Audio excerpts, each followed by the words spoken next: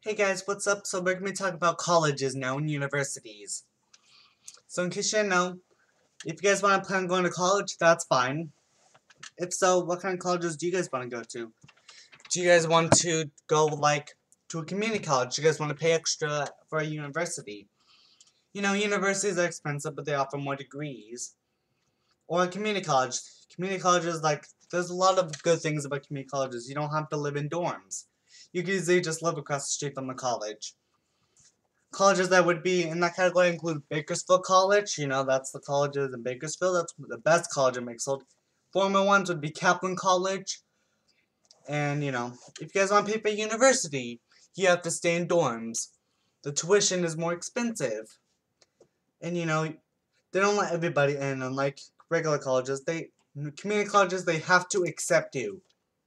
And also they're a bit cheaper because, you know, the, the regular colleges. And you know, these some of these colleges would be giving you a job. You guys might want to get a good job, so it might be a good idea to go to college. And anyway, the next episode, guys, will be about, you know, homes.